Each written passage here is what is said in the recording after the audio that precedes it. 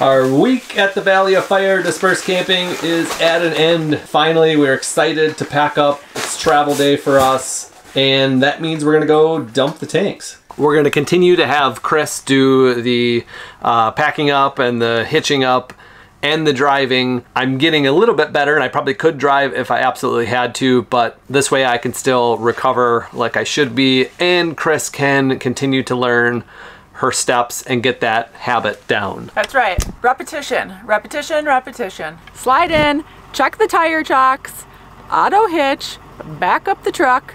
I'm gonna put these in the truck because Aaron says he can just use the boot today. So we are making progress everywhere. This is really nice. This is my first time walking outside with just the boot on. And two and a half weeks later, All right, I'm gonna push auto hitch. feeling pretty good.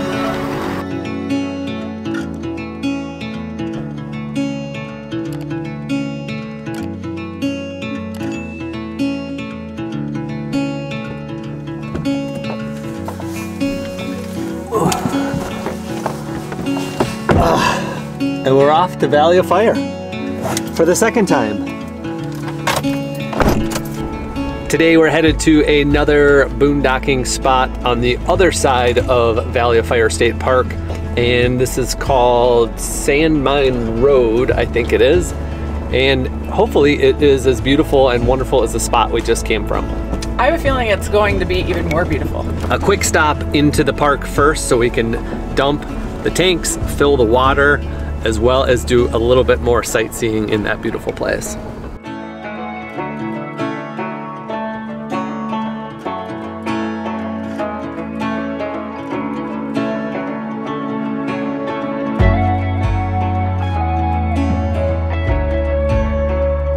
It's $10 to get into the park if you're a resident of Nevada and 15 for us, right? Yep, that's right. Well worth the price of admission in this beautiful place. Oh yeah. Campsites are only 10 bucks. That's cheap. That's super cheap. Yeah. 10 bucks is nice. Same guy. Awesome. Thank you so much. Oh, you're welcome. Have a good one. Sounded all positive. Yeah, it was pretty good. He's he's a nice guy. It was the Did he same. remember you? He didn't remember me, but I remembered him. Yeah, it seems super uh, RV friendly here.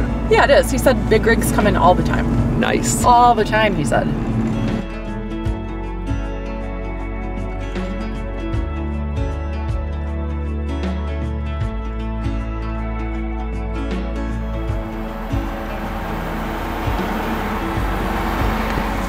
Nobody in line. Nice and easy. Yeah, it was busy here the other day. Yeah, it was.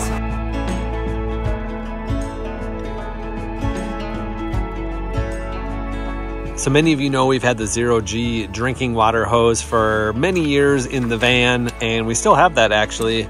But that was a 25 footer, and we just upgraded to a 50 footer because we have a little bit more length.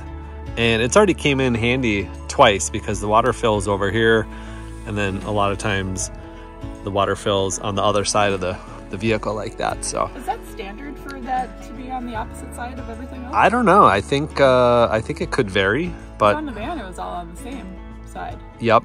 I think some have it there. I don't know. They, I think they put them in different spots, but these hoses have been great.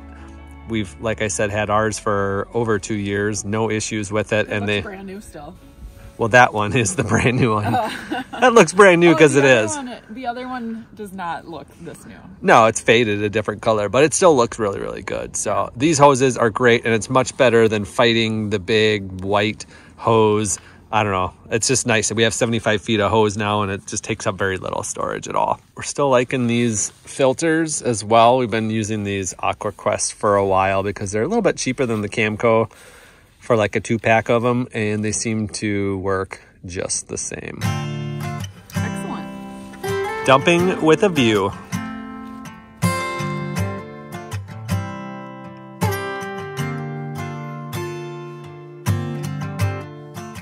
Okay, I'm already extremely uncomfortable because my hair is not in a ponytail and my jacket's on, so I'm like super irritable right now. But I am going to do the nice tip that so many people tell me to do to run a little bit of gray water through, first, as a test, to make sure everything's hooked up right, so if there's an incident, it's with gray water and not with black water.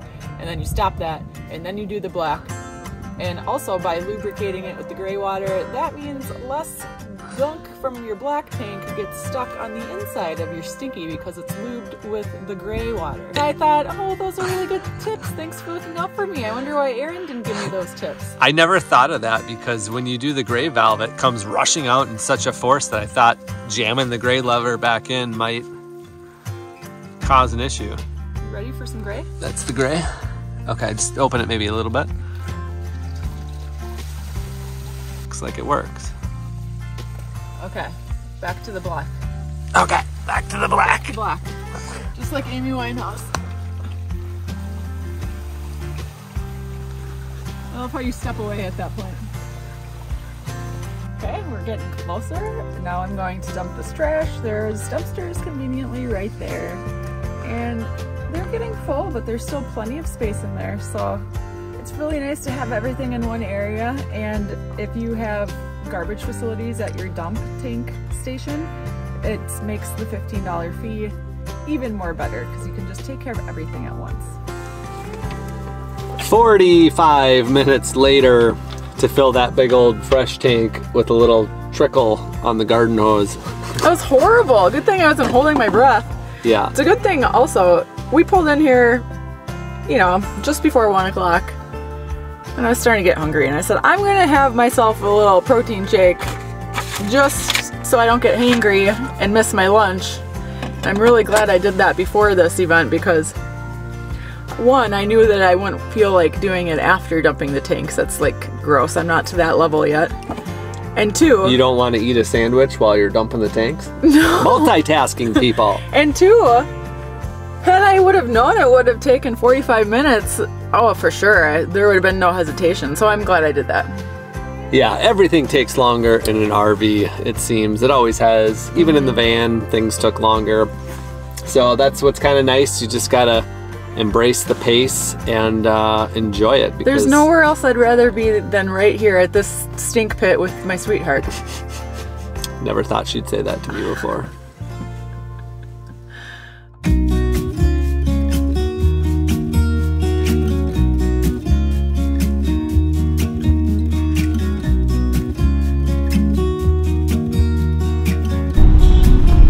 We go, White Domes Road. I'm so excited.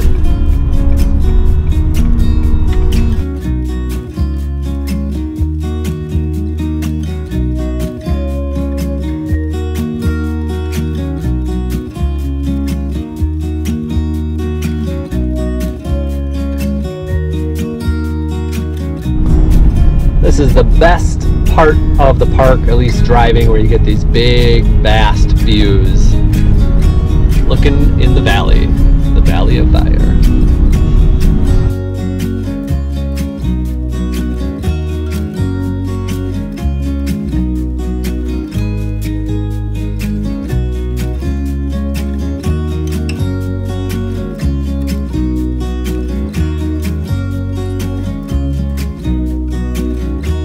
All right, on to our next home for the week. I think that it's going to be more beautiful than the west side. I don't know why. I could be way off. I just have a feeling. It is really pretty over here. I think it's closer to the park. We were a little bit farther away where we were on the west side, so this might have a little bit more of the red rock in the distance. Mm-hmm. When I was researching the Hoover Dam, they said that the least busiest months are January and February, which we're smack in the middle of. So we are technically in the slowest tourist season of this area.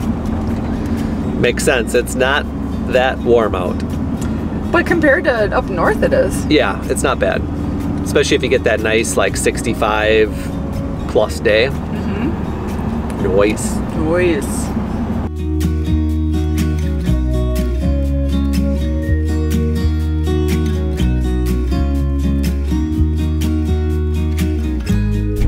Coming up a quarter mile on Sandmine Road, and we see a few RVs out there.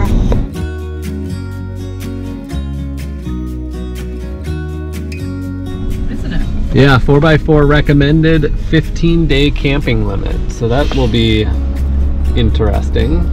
maybe we should stop and check and see which kind of direction and which route we want to go. Something we haven't been doing a lot is checking Google Maps and getting a lay of the land, but uh, it looks beautiful out there. It's pretty. Just so we know which way to go, I'm gonna pull up Google Maps. okay.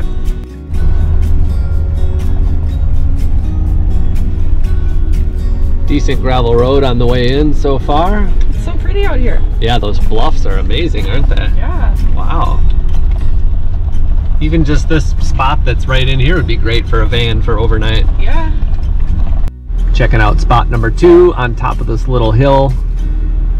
Give us a nice view of the sunset this way, as well as hopefully looking at the canyon that way. Definitely different with a truck and trailer where you're 50 feet long, and if you don't have the great backing skills that Chris doesn't have yet, and I don't have yet, frankly, either, um, it's not the same as just driving up there with a van and being able to turn around and come back if it doesn't look good, but you have no idea what it's going to be like. So um, we're kind of being cautious so far as we have our first few months of boondocking. Here she comes. Is it perfect up there? It's perfect. It'll be a little tight, but I think we can do it.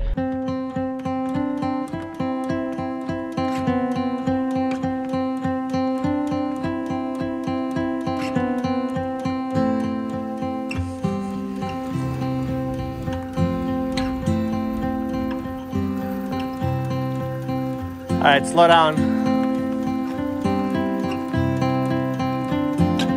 Okay, a little bit more. All right, stop right there, babe. I gotta be careful not to re-sprain my ankle out here. But it's so rocky that, see those big rocks, we gotta watch out for the level pads just so they go down in a good spot. So we got five different points we were trying to figure out. Well, that's because the last place we parked at, we had our level pad on a big rock, so Yeah. we're like fresh out of a learning experience. Yeah, we didn't like that. So this is good. Beautiful spot. Wow.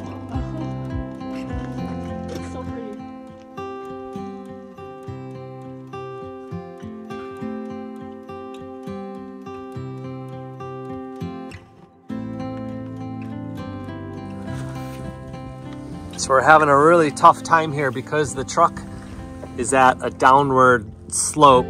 The way this coupler is so rounded that if the truck is forward at all, it sticks in this part of it so it doesn't release off of the uh, the trailer. So this is kind of, I mean, the trailer's super level, but the truck is at the incline. Here you can see the, the truck angle is down quite a bit more. This is flat, but it's this point right here that it just doesn't want to release. So we're gonna try this spot over here, see if we can get another level setup.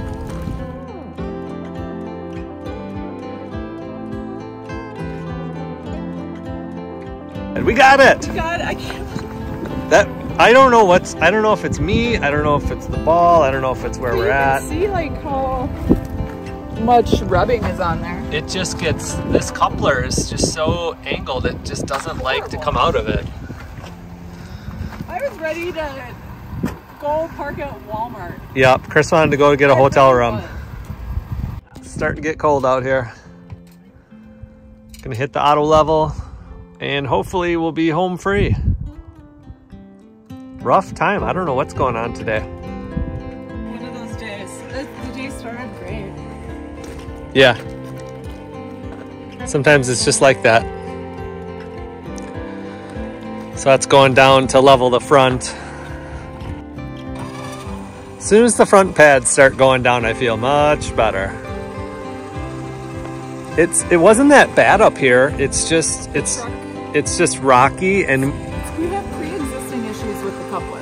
well you need 48 feet to kind of get level and if the truck and trailer are too too unlevel, yeah, it doesn't work very well. But it's just too beautiful of a spot for us to not take it. I love it up here. It's great. We're on top of our ridge. Honestly, I'm afraid to get this out of here now. I'm afraid of leaving just because, like, We'll worry about that in a week. I know. Well, we definitely nailed the spot. We have 360 degrees of just vast beauty. Yeah, the only thing that I think could be a problem is if it gets super windy, we might be parked in the wrong direction for the wind. But sometimes I'm a little negative when I don't need to be. We just conquered this huge thing and it is super amazing up here. Well, how do you plan for that? Doesn't the wind change direction and yeah, I don't know. I guess that would be like a, a local tribal knowledge, like if it's certain areas that always get it the same way. yeah? Like, like Joshua Tree. Doesn't that always go the same way? Look at that out there. We can see for probably 30 miles out there. It's so beautiful. Just amazing. And then once the sun sets and the sunrises come out, it's going to be great. Did you pull this rock out of your boot? That was in my boot. It was? Yes, I picked up a boot. I'm in a rock. so dangerous. And you know what time it is? Let's get the plant house, the house plants in. It's always uh, the best feeling once you once you conquer your challenge and like the struggle is over and now we're in here and we blasted the heater and setup is beginning. I did skip the outdoor setup just because like I'm beyond I'm over it. Like okay, I just want to get set up inside. So we're just doing the inside stuff with the exception of the rug. I did put the rug down because it's so sandy out there. So plants out, basics out, get some water cranking, and Yep. just settle in. You didn't even eat lunch today. Nope, I didn't eat lunch today. I am kind of hungry. I can fix that. I, that I can handle.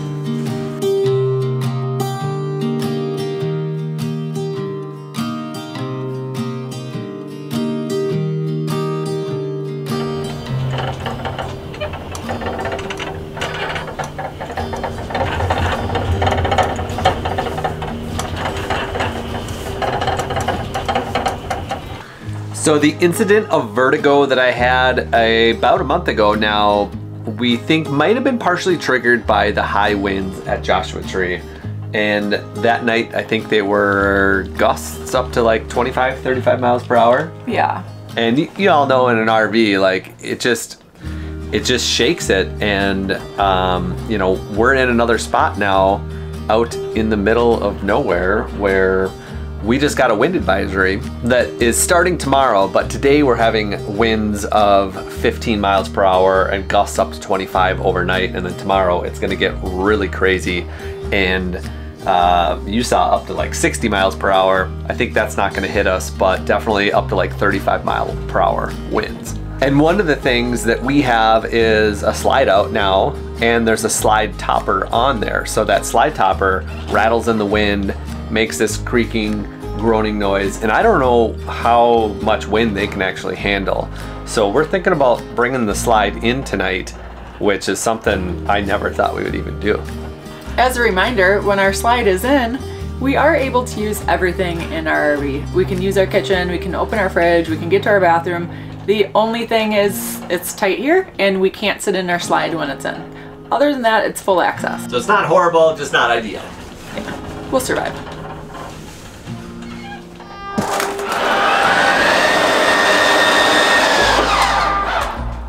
It's still shaking.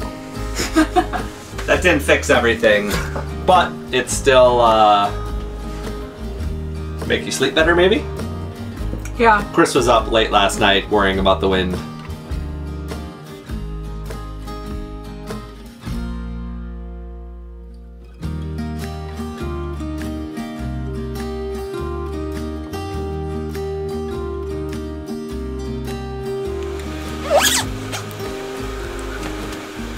Good morning. Good morning. Good morning. The wind did not shake us awake last night too much. It was pretty good. It says it's 36 degrees outside right now. And the high is only going to be 51 today. It's, this is the super windy day, so we're going to see what this brings. But I think bringing the slide in last night was a good decision, if just for the wind reduction noise, so we can get a good night's sleep. But you all know that I don't have a thermometer in here yet, so I don't know what the temperatures are. But I did pick up a heat gun that I want to play around with a little bit. It says the wall is 44 degrees. The heater didn't turn on, which is kind of weird. It's 46. 54 in the bed. I was kind of getting some readings around the 50s. The window shade is 44. The window is 36.9. That's a dual pane window. And we have one window, our front windshield, which is just automotive glass. It's not dual pane. Look at the difference. So that's kind of interesting because we've never had dual pane windows before. I don't know what you're talking about. It's it's toasty warm in here to me. So the dual pane is actually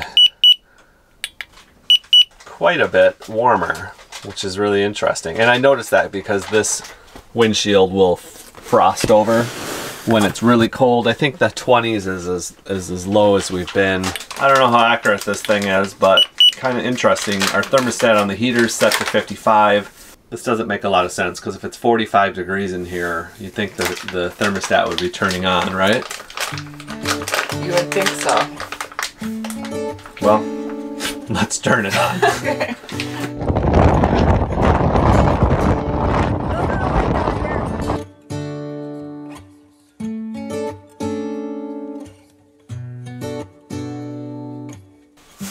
We survived the great windstorm of 2022.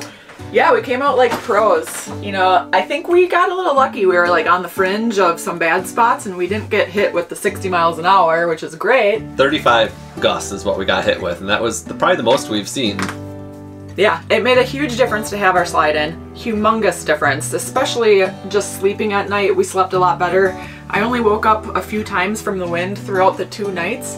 And we've got to say, when this slide is in, we were getting some flashbacks to living in the van where only one of us could go through the galley at a time and we had to do the old galley shuffle.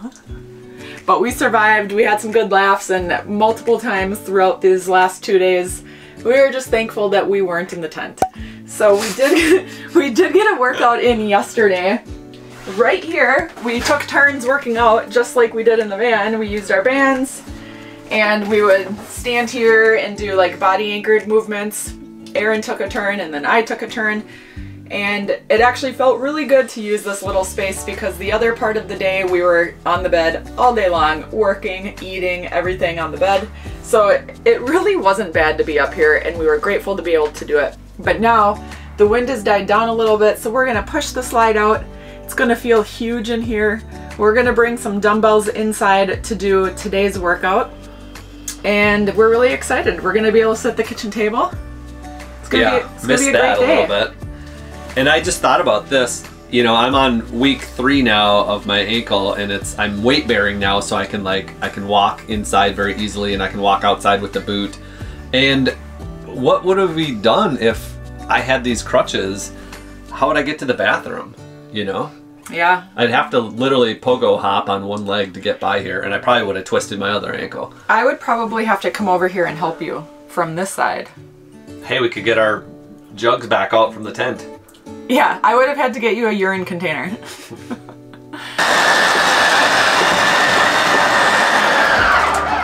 Oh, I felt that cold air rush in as the as the seals God, opened it's up. It's huge in here. So much room for activities. Yeah. Also, speaking of cold air, when that slide was in and when it was windy, right here was super freezing, and we think it's from the wind blowing into the fridge vent. As if Aaron needed one more reason to hate this fridge. Yeah, we could hear the propane pilot light like flicker on and off with the wind gusts. Like And, every uh, 45 seconds. Yeah, as these big, I mean, that's 35 mile per hour winds that were hitting right into that vent, and uh, that definitely made that cabinet cold. The We- floor right here is freezing. Mm -hmm. Freezing. Isn't it gigantic in here? It is a crazy big difference. It's wow. insane. So much room for So much- activities. Room for activities.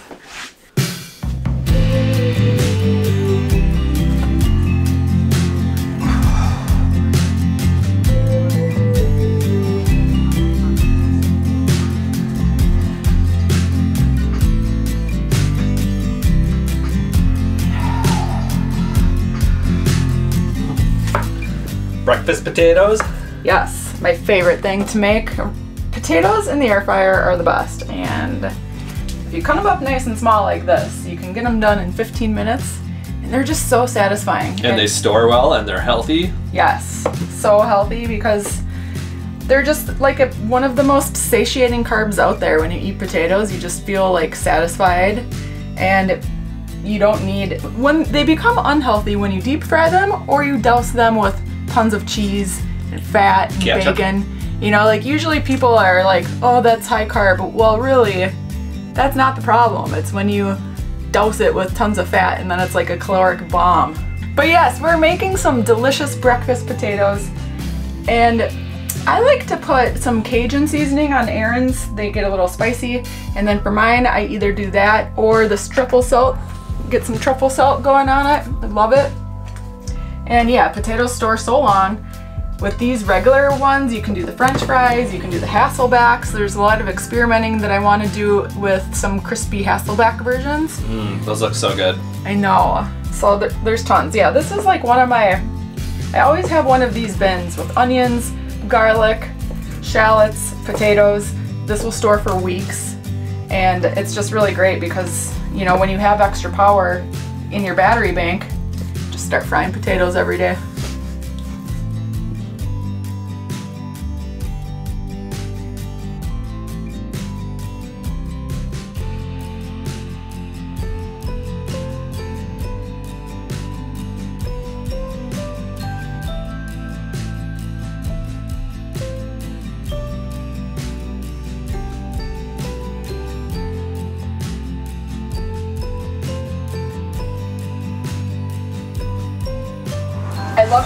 Yoga mats in here. Yeah, they're nice to have, aren't they? Yeah, both of these. This fold up one is great. Um, I really like it just for putting like dumbbells on or for putting under your butt for like ab work or whatever. You can kind of configure the size you want it to be to make it thicker. So that's nice. And this one's just a like super sturdy big one.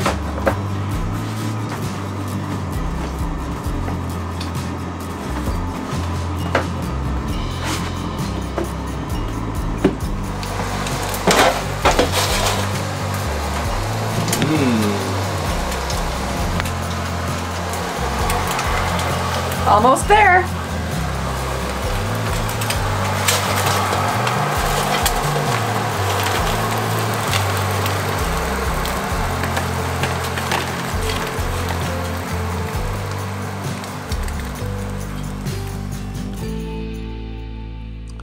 This is one of the most magical spots we've ever been to. It is absolutely amazing. Chris, are you looking for snow? It's it's really pretty out here. It's a little bit cold, but we're just in a cold spell right now.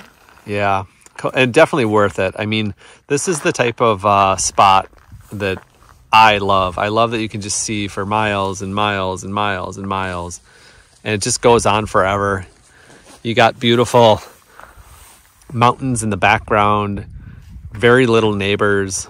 It's amazing. It's super peaceful out here, and the colors are incredible. yeah, absolutely. It just glows at sunset. Every sunset is just this crazy glow. It is glowing.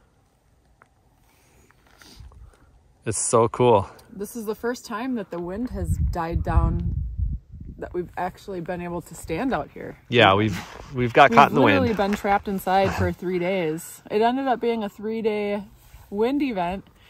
And here we are out in the real world. We're actually like alive and outside. It feels really good. It's still a bit chilly.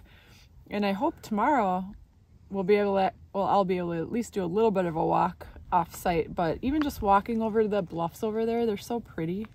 Yeah, the terrain's a little rough for my boot. I can walk around a little bit, but uh, it's it's very very rocky here. Kind of a bummer. I'd like to be able to to see more of it, but we're gonna take a little cruise in the truck. Uh, I think tomorrow and check out some of these trails and these roads and check out the Lake Mead National Park recreation area and uh, And see. we might swing through Overton so Aaron can get a little glimpse of the big city. Right? Yep. There's Overton. off in the distance.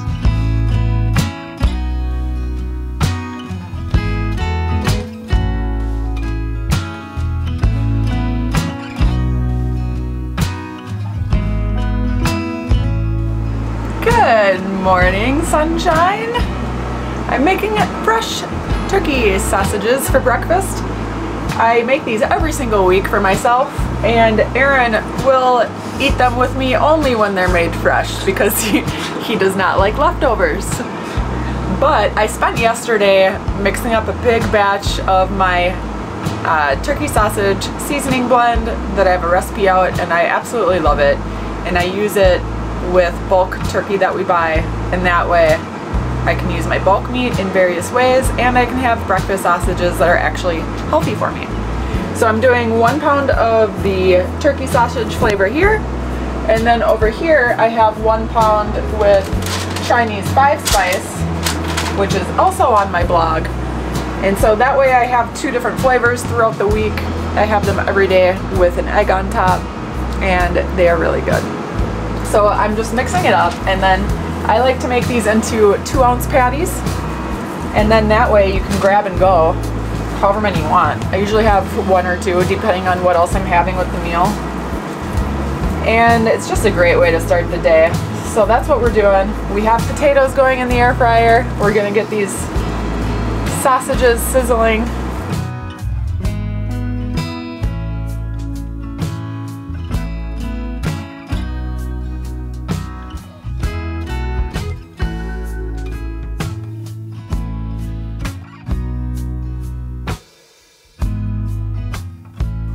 12 inch skillet over medium high heat and I spritz it with this avocado oil. It's 100% avocado oil, no fillers, no gunk, so it won't ruin your non-stick surfaces. And we're gonna throw them in. When I do the patties, I always start at the handle. And then I work my way around clockwise so that when it's time to flip, I know the order of how long each patty's been on there.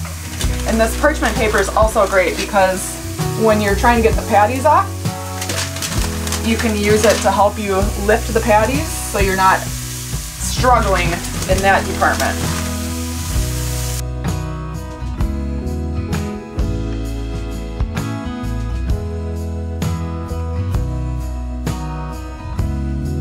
How hungry are you, Aaron? Uh, fairly hungry. Usually when I ask that, he says the usual amount. Bon appetit. Thank you. Looks like a delicious, delicious breakfast. Three and a half week update on the ankle. It's getting much better. I'm able to walk uh, fairly normal inside the RV here, but outside on uneven ground is still quite tender anytime there's too much articulation in the ankle. But uh, I still have, if you look at my good ankle here on the left side where kind of dips in like that, and this one is kind of still pretty fat right there.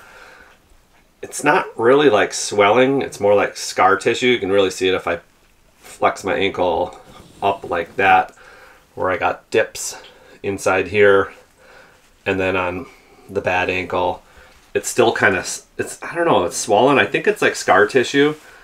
Um, trying to like you know start the healing process. So it's uh, it's interesting. It's going good, but it's also kind of like if I walk on it too much or if I do too much, too much exercise, it uh, kind of flares up a little bit. So I'm going to try this KT tape, which is similar to the Ace Wrap bandage, except this stuff goes on and stays on for like a week.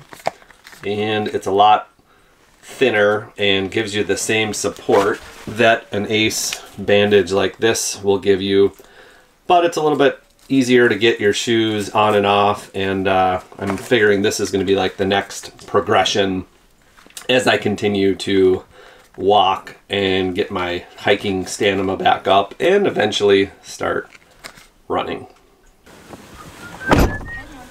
So Lake Mead National Recreation Area is literally three miles down the road from here. It's like a six minute drive. We could just throw a rock and hit it. Normally we could walk there. So this is pretty cool. We've never been there. We don't know that much about it. We heard it's kind of a, a beautiful drive and obviously it goes down to Lake Mead.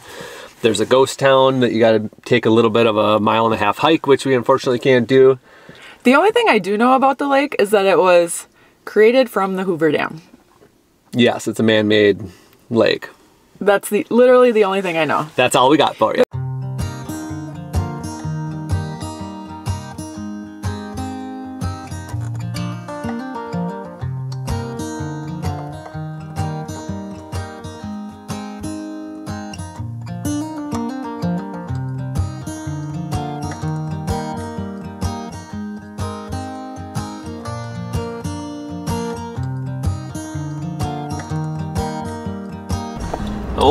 America's Beautiful Pass coming in handy again.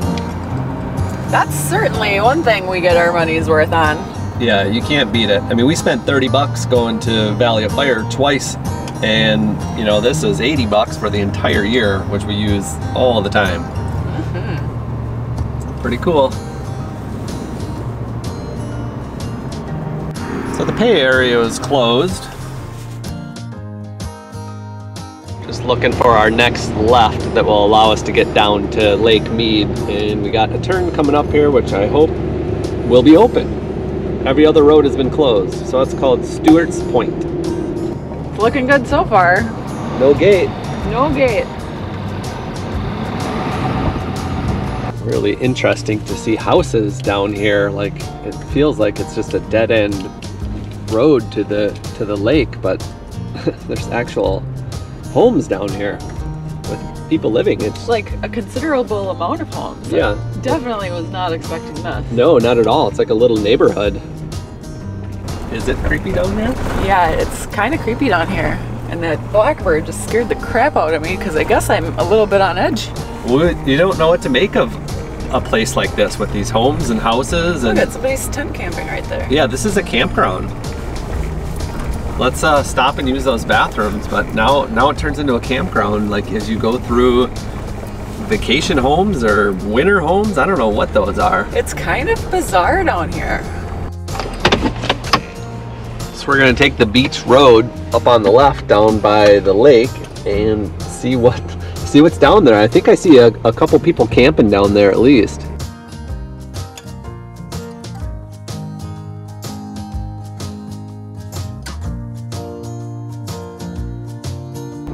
Doesn't look organized at all. No, it might be just free BLM camping. Did we see this on Campendium? Ooh, it's soft here, isn't it? Mm-hmm.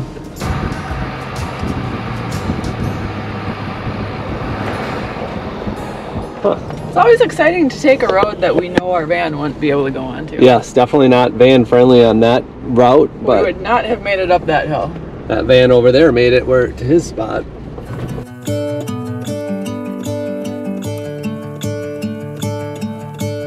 Time for me to get my prison yard walk in. Your 10 minutes of fresh air starts now. What do you think? I think it's really beautiful. This is kind of unique and special. Yeah, I don't I didn't know what to think about Lake Mead and like this type of area, but it's pretty cool. It's just it's just different. It's very I don't know, barren out here. It's just you know, it's just this giant lake kind of out in the deserty type of area and uh, it's beautiful. Yeah, so the shape of the lake, it has one north finger and then it has two east and west south fingers, right? And we're on the north finger. And I think that there's a lot less up in the north area than there are specifically down in the west southwest because You're closer to Henderson. there's some towns down there that has some like services and amenities nearby and up here there's just nothing around like at all. And you can definitely feel that.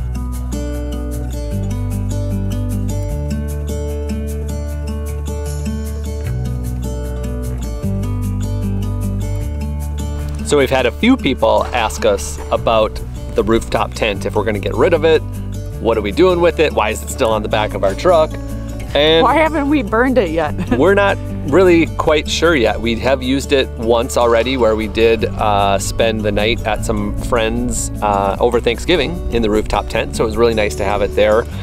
And like Chris said, this would be a very unique spot to to use it for Yeah. the night. Yeah, we do plan to keep it. I think just the sprained ankle puts another puts it on hiatus for a while.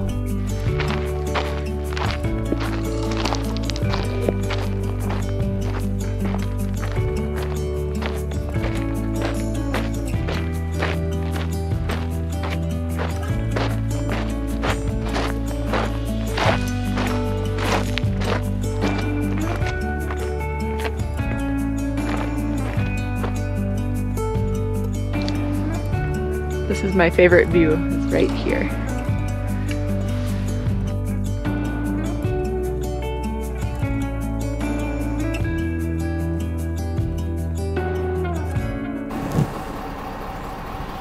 There's three burros out in the shrubs out there, and we don't know if they're somebody's donkeys or if they're wild burros or or what they are. If anybody knows if if, if those are native to the Lake Mead area. I've never heard the word burros before. Never heard the word burro? Is burro a donkey? Yeah.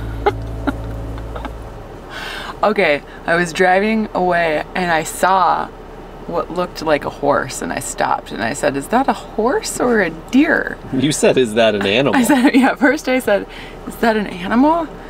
It Looks like either a horse or a deer. And then Aaron said, It's a donkey. They're just sitting out there. now there's three of them. So I said, We have to try to get closer to them.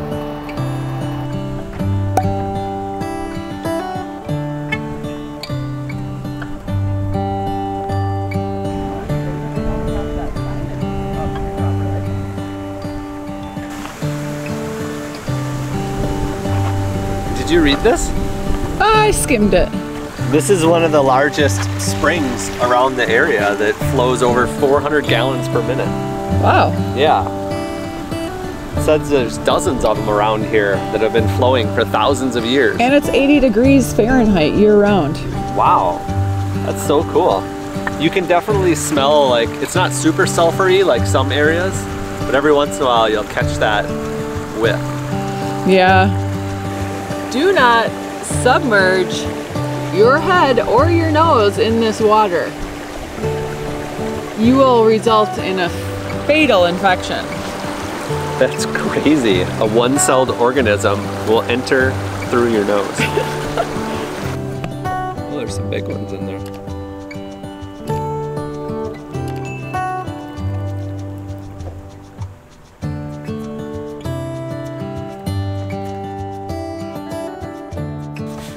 What a fun little surprising treat this little pull off was. I, I actually am like uplifted from being here. I'm in a better mood. I got a good giggle out of that whole don't snort the water. Yeah, fun fun area, but uh, I think to explore Lake Mead properly, you need a lot more time. And obviously, like Chris mentioned earlier, we're on the We're on the, The- Overton finger. the less busy side of the lake, Yeah, it'd be fun to go do the other fingers. Mm-hmm, for sure. But uh, we're gonna head back, eat lunch, and we're gonna call that our little excursion for the day. Yes, and just as an FYI, for for us to get from here down to that southwest finger, it's an hour and 20 minutes down to where like those cities are. Yes, so we're we'll probably hit that area maybe as we travel back. We'll keep it in mind.